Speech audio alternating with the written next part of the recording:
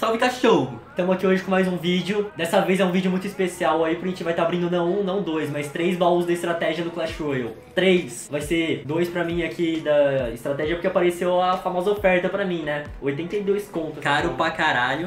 A gente não tem patrocínio no canal, então vai deixando seu like aí embaixo pra estar apoiando o canal aí, pra estar ajudando o canal a crescer.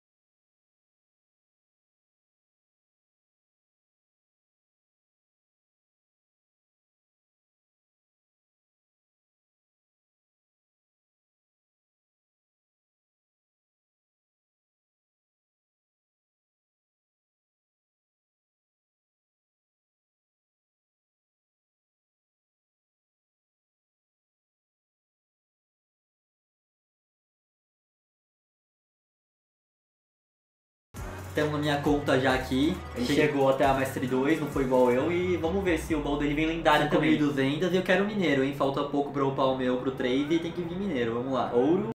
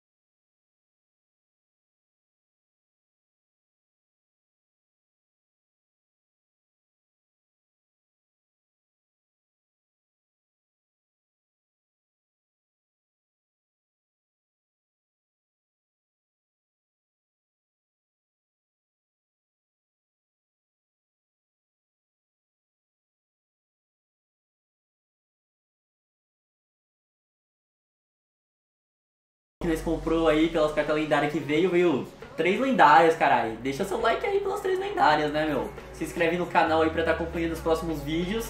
Ativa o sininho pra estar tá recebendo as notificações e é nóis. Falou, falou.